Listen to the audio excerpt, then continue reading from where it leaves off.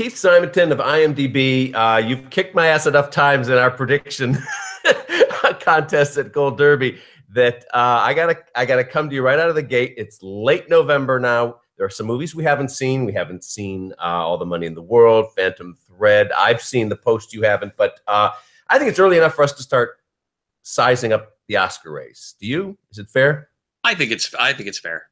Who cares if it's fair? We're doing it. All right, and you know what I love about your predictions, though. Even though you're what a couple days away from seeing the post, uh, you you and I are both have it in first place.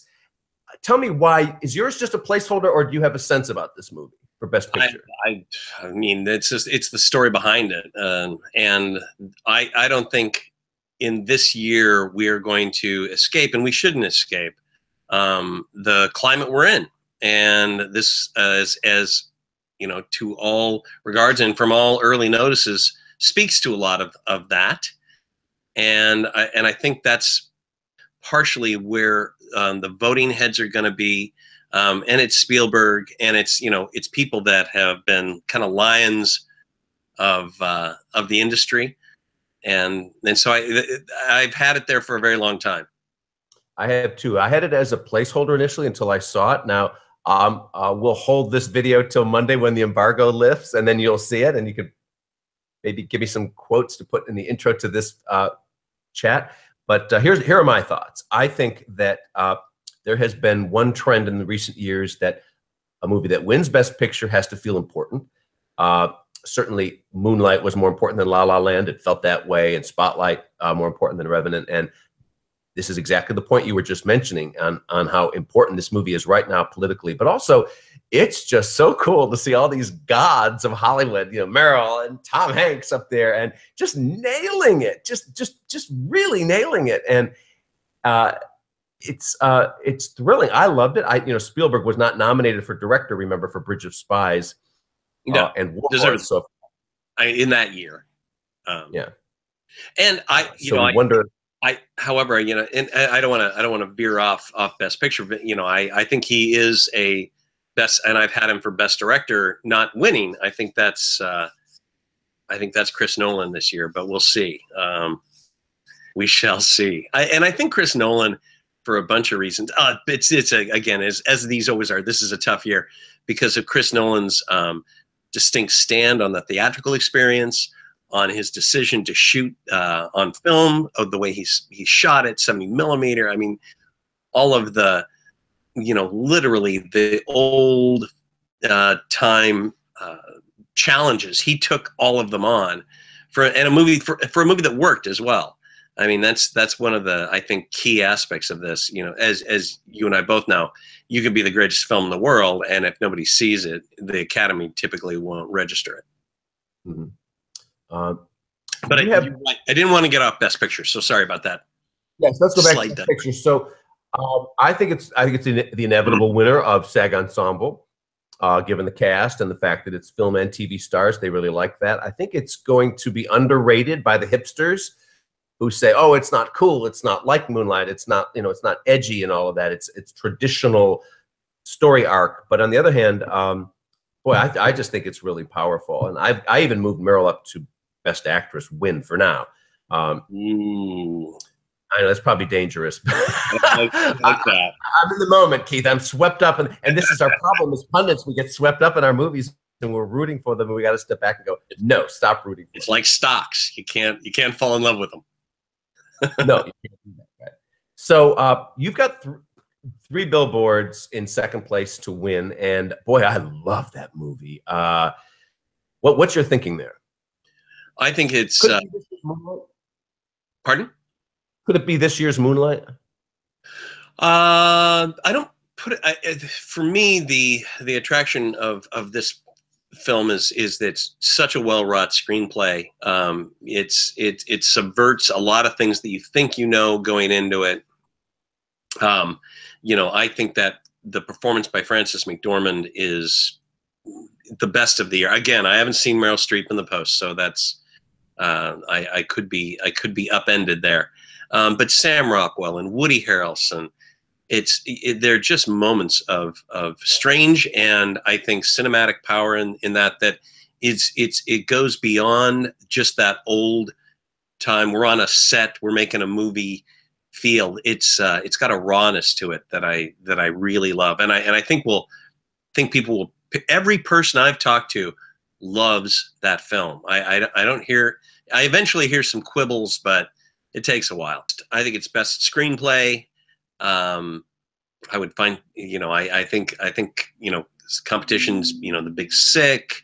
Um, it's obviously a, a Lady Bird. Actually, Lady Bird, to tell you the truth, Tom, is my favorite film of the year, um, oh, wow. hands down. Uh, if if if if I had a, you know, if I could by fiat just say what what was going to win, it would be Lady Bird. Um, but I think I think Lady Bird shows up a lot uh, this year, and and not only just because it's it reminded me of Breaking Away actually, um, just that mm. that uh, that true feeling of a, of relationship with a uh, you know a, you know a parent to a child, um, that that awkward stage of of finding yourself. Uh, Saoirse Ronan's so fantastic. I think I think it has a, a it will have a huge uplift as more people see it. And it, it's packing, setting records per screen for um, uh, indie movies. We did an interview the other day with Greta, and 50,000 views on page, uh, YouTube immediately. It's just got this fanatic following, and for good reason, as you say. Boy, this this movie really connects powerfully. But it's a chick flick, and the Oscars have not been very, very welcoming to films with a female perspective in the past. Flick. Hmm. It's well, I mean, it, it's flick.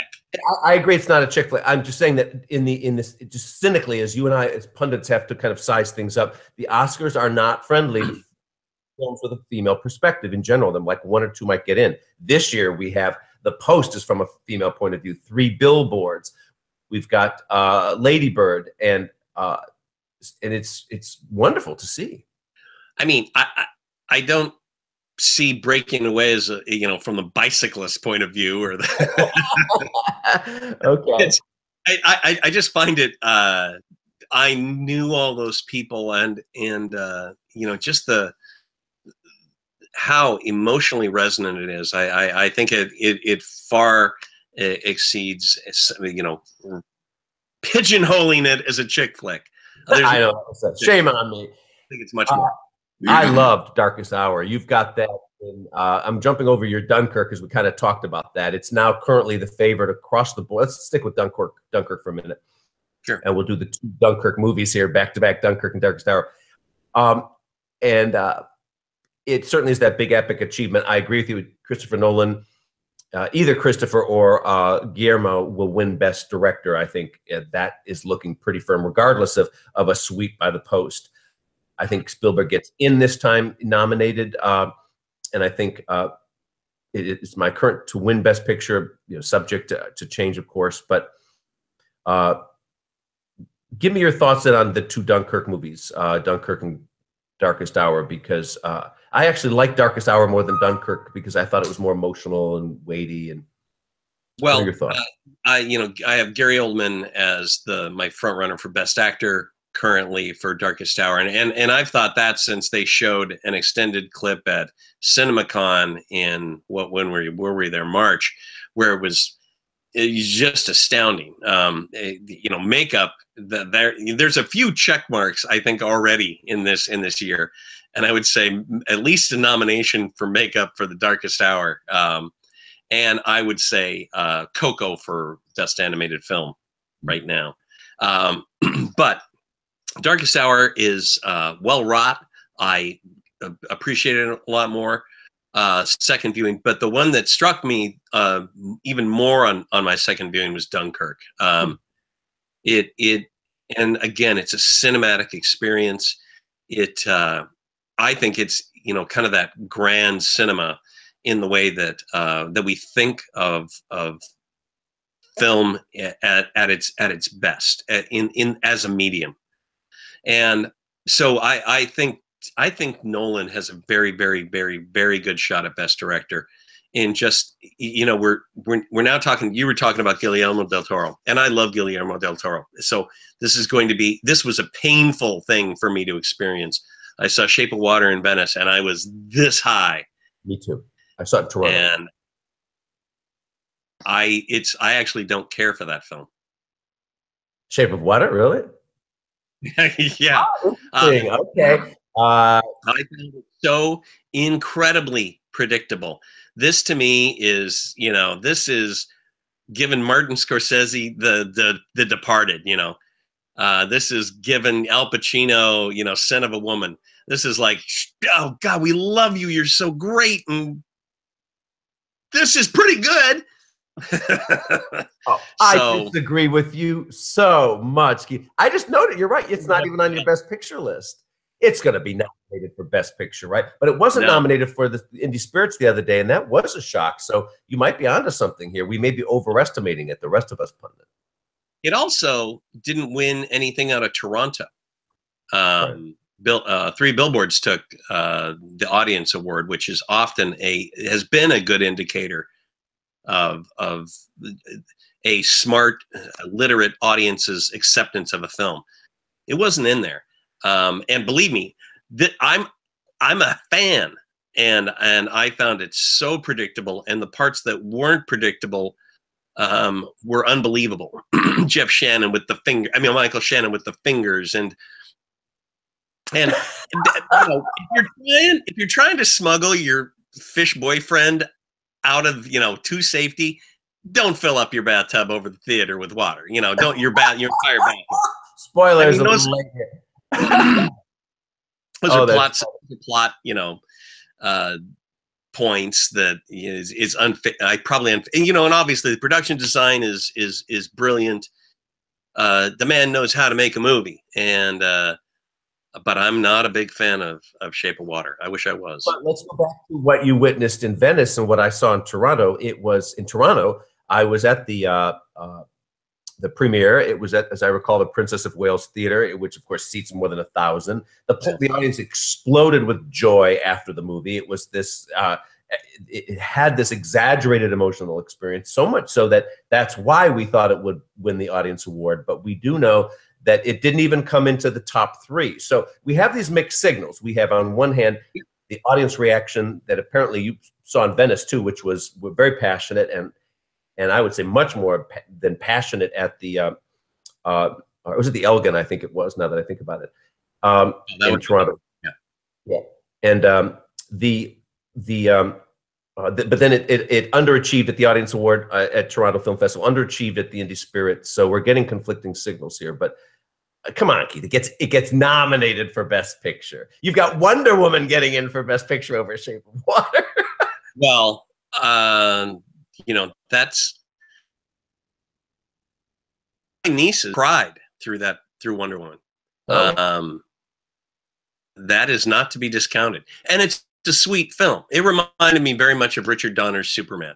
Um, here's a hero and sweet and just wants to do the right thing gosh, you can have those still. That's that's that's refreshing. I you know, and I think that's also a potential for Patty Jenkins, which I know is probably pretty controversial too.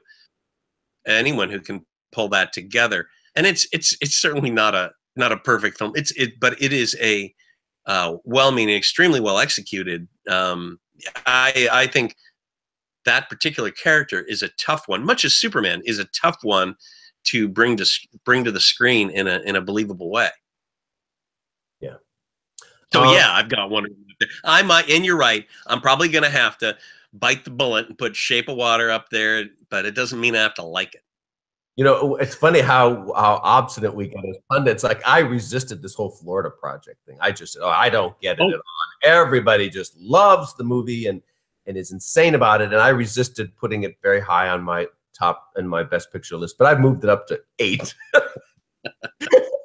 a lot of people do love it. And Get Out, I just I love the movie Get Out, and it's we both have it in there for best picture. But I didn't put it in until the other day because I just kept thinking a horror movie, a comedy, you know, a box office. I just don't uh, understand, but it is resonating with all the guilds. It's resonating with the buzz in Hollywood. It, it got in at the Indie Spirits. It, it, it, it really seems that it's got a chance to uh, even win screenplay. Some of our pundits have got it, got it in there to win.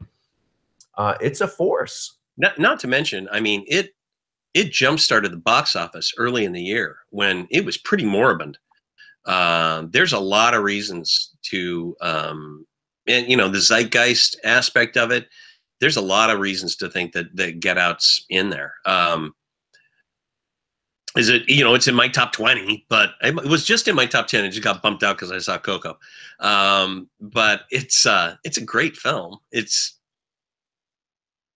I, you know, I, love it. I absolutely love it. I watched it again recently on DVD. Uh, Call Me by Your Name is certainly a curious contender, and it, we both have it very high up on our list. I think it has potential to explode. I think it has the potential to uh, even be this year's Moonlight in the in that same way that it's the gritty indie and it's uh, uh, certainly has the the gay theme, which is socially relevant, but it has this creepy uh, quality too with the uh, the age difference between these chaps. Uh, what's your, how do you size up the whole the whole Call Me by Your Name groundswell, which is huge, the critical acclaim, which is huge, and the really controversial subject at a time now when um, sexual creepiness is getting a special spotlight in Hollywood? Um, or is it even fair to say it's sexually creepy? Am I wrong even to say that? Well, I I think it's a coming of age film in you know and it, more than anything else and um you know it's about buried buried past family secrets and you know what one's true nature is and and i think uh uh the lead, uh, Thomas. I'm going to butcher his last name. I was just uh, Chalamet, I believe is how you say it. I, and I, am going to butcher that. Um, carries off that lead um, in such a way that it's not the um, it doesn't feel like a predatory um, relationship, which is, I think, you know, particularly with what's going on right now, an extremely different matter. Um, if you'd had the Armie Hammer character um, being very aggressive, and uh, I think you'd have a different conversation. Um, that that the lead character is much wiser, much smarter than actually everybody else in the room, and much more aware of where he is. I think that changes the conversation for anybody who sees it. That's that's that, that's the question. And really, if the Academy sees it or any of the guilds, they're going to appreciate it, and I think it will rise um, in estimation it's just the people that read the plot summary and don't see the film that are going to have an issue with with the film. Um, so let's finish up uh, this part of the chat with director. I'm scrolling over now to see your list of five. You've got uh, Nolan, then Spielberg, uh, then Luca, the d- director of Call by Your Name. Yes, I can't pronounce his last name. Only by your name. yeah, and then uh, Patty Jenkins for Wonder Woman and Greta Gerwig for Lady Bird. So that means, oh, you don't have um, Del Toro there. You don't have uh, Martin McDonagh for Three Billboards. No, I don't think Mar- I'd love for Martin McDonagh. You know, it's one of those make that yeah. list longer. Um, but I actually think Greta Gerwig's got a shot. I do too. Yeah, uh, and you know, uh, in that Benh Zeitlin Beasts of Southern Wild holy smokes, is this a good movie? Plus, everybody loves her. Uh, I think it's a possibility. I sure hope so. Like I said, it's my favorite film of the year so far. So, yeah, I don't have her in my top five yet because I don't know who to boot out. Uh, who do I have? Uh, but she does. I think she does get in. Just if I just have to just distance myself for a moment and think about it, I've got um, Del Toro, Nolan, Spielberg, McDonagh, and Luca. Yeah, I don't so, think uh, I don't think Martin McDonagh. I'd love if Martin McDonagh got in, but I don't. I don't. It's it's it's too crowded of a year, and uh, and I have a obstinate. I'm probably gonna have to put Del Toro in there at some point. Again, it's to me, it's a sin of a woman thing. It's it's, it's you're gonna get nominated for the film of his that I like almost the least others we should say who are really really uh, in strong position to be nominated uh, joe wright uh, could get in for Darkest Hour. Uh, that's a real traditional uh, beloved film for the Academy. And then Paul Thomas Anderson for Phantom Thread, we haven't seen. We have to be fair about that. Yeah. Um, and who else are we leaving out here? Jordan Peele. I mean, if this love for Get Out is uh, really a, a breaking out, then boy, he goes along for the ride, doesn't he? Yeah, I mean, and deservedly so. That's uh, you, you want to talk about you know a, a self-made movie there's a self-made movie and and and everyone's got to appreciate that. Yes absolutely. And in this year where uh, uh, women are doing we hope much better in the award races than they have in the past uh, uh dee Rees is really alive for mudbound isn't she? Tim gray i see has her in for a nomination yep. And uh, I love Dee Rees's Pariah. Um, the year it came out, it was my number seven film that year uh, and it was ahead of its time. But I'm not a huge Mudbound fan. I think Mudbound is fairly stuck in the mud. Frankly, it's. Uh, but it's really uh, resonating uh, on the award scene here in uh, Los Angeles, uh, and of course, Netflix is really tub thumping strong. So. you admit it is in the running. I mean, it is in the in the. Oh yeah! Oh no, no, no question about it. You're you're exactly right. It's in the running. It, it's, it needs to be talked about. And what about uh, Glenn Whipp, who really knows his Oscars, has got, you know, uh, Denis who's uh, Villeneuve, I can't pronounce his name, Blade Runner, in his uh, top five for directors. So we can't leave him out either, could we? Unfortunately, I think you can. Um, oh, you bitch. Well, uh, if if Blade Runner, you know, if 2049 was a big hit, yeah. Uh, I, I, I think you've got a, a, director who is phenomenal, Sicario, you know, The Arrival, and will continue to be phenomenal. Uh, yeah, obviously in the conversation, but not this year. That's that is where I think you push your chips over to cinematography. Okay. And yes, because uh, that's where um, uh, uh, that's Roger. De- what's his uh, Roger Deakins? Yeah, who's lost thirteen times and can finally right. win. You know, Eighteen. Oh no, no, thirteen. Yeah, this is yeah. yeah. do you know? 13. Do you know who Glenn also has on his list here is, and, and let me double back because I just said some um, uh, things about Florida Project, but he's got Sean Baker in there. Uh, you know that who had Tangerine uh, a year or two ago, and he's got him nominated for director. There, let, us talk about this Florida Project has got is one of these uh, little indie movies that has extraordinary passion for those who love it. I mean, they're they're like Florida Project Moonies, and that's what you need at the Oscars is that kind of that targeted, specific, right? Florida Project movie. the Florida I, Project. haven't heard that one yet, Tom. Hashtag it, everybody.